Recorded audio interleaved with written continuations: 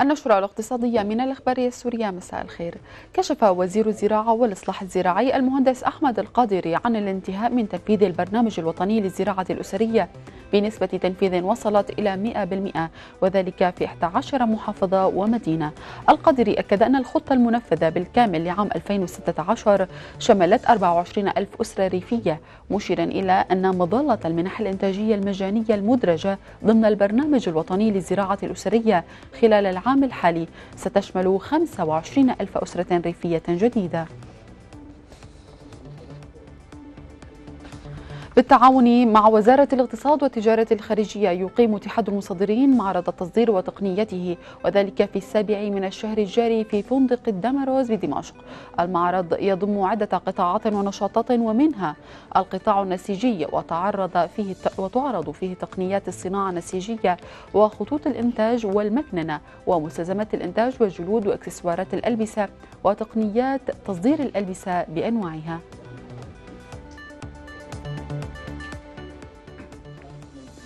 قدرت القيمة الإجمالية لمشروعات الخطط الاستثمارية للمديرية العامة للموانئ خلال عام 2017 بحوالي 700 مليون ليرة سورية.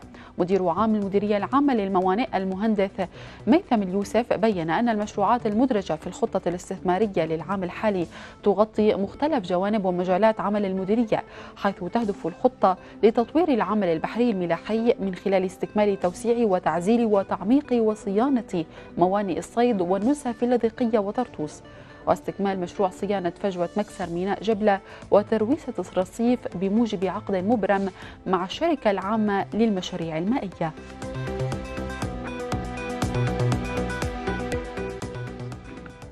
كشفت السلطة الفلسطينية أنها تتوقع عجزا إجماليا بقيمة أربعة مليارات شيكل في موازنة العام 2017 السلطة الفلسطينية توقعت أن لا يتجاوز التمويل الخارجي لدعم الموازنة 500 مليون دولار و92 مليون دولار لتمويل المشاريع التجارية عبر الخزينة.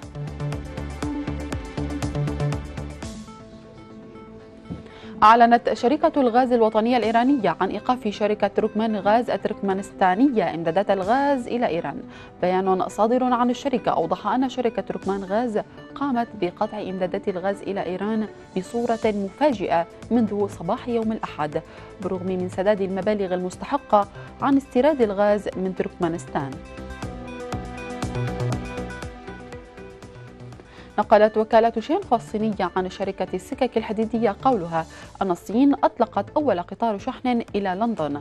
شركة السكك الحديدية الصينية أوضحت أن هذه الخدمة ستحسن العلاقات التجارية بين الصين وبريطانيا وتعزز التواصل مع غرب أوروبا بينما ستخدم بشكل أفضل مبادرة الحزام والطريق الصينية التي تتكون من شبكة بنية أساسية وتجارة تربط آسيا مع أوروبا وأفريقيا على طول الطرق التجارية القديمة.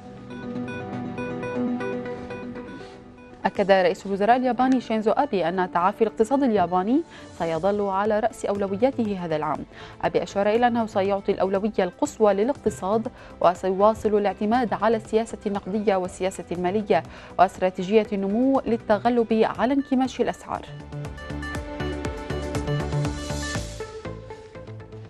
أظهر مسح أجرته وكالة بلومبرغ الاقتصادية الدولية أن روسيا ستكون من الدول الأكثر جذبا للاستثمار خلال العام 2017 تليها جنوب إفريقيا والمكسيك والبرازيل وتشيلي والهند.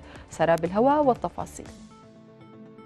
تربعت روسيا على قائمة الدول المتوقع جذبها للاستثمارات في العام الجديد. وجاء جنوب إفريقيا والمكسيك والبرازيل وتشيلي والهند في مراتب تالية. مسح أجرته وكالة بلومبيرغ الإعلامية الأمريكية والتي استعانت بعدد من بيوت الخبرة الاقتصادية حول العالم. أظهر تربع روسيا على صادرة لائحة الجهات المفضلة للمستثمرين بالأسواق الناشئة في عام 2017 ووفقا للوكالة فإن أحد أهم الأسباب هو أن الروبل الروسي يعتبر الرهان الرئيسي للمستثمرين ممن يتداولون عملات وطنية ذات معدلات فائدة منخفضة والمشترين للأوراق المالية الأعلى إيرادا. ووفقا لتقديرات أحد البنوك السويسرية فإن العائد على الاستثمار في استراتيجية تجارة التداول بالروبل سيرتفع في عام 2017 ليبلغ 26% وهذه هي أفضل نتيجة بين أسواق أوروبا والشرق الأوسط وإفريقيا.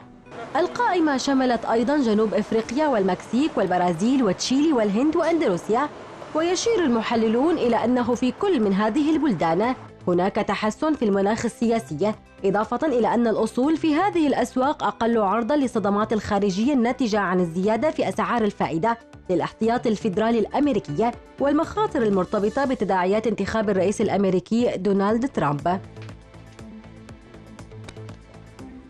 والآن ننتقل مشاهدينا إلى أسعار العملات والمعادن ونبدأ بسعر صرف الدولار وفق نشرة أسعار مصرف سوريا المركزي حيث سجل الدولار في الحوالات الشخصية 514 ليرة و85 قرشا وفي شركة الصرافة 517 ليرة و42 قرشا اليورو في الحوالات الشخصية 535 ليرة و73 قرشا وفي شركات الصرافة 538 ليرة و40 قرشا.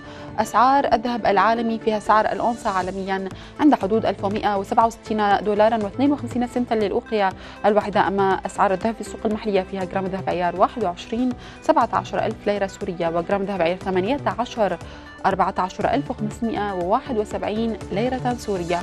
أخيرا أسعار النفط العالمي فيها خام برنت عند حدود 55 دولارا و96 سنتا أما الخام الأمريكي 52 دولارا و82 سنتا. مشاهدينا النشرة الاقتصادية انتهت.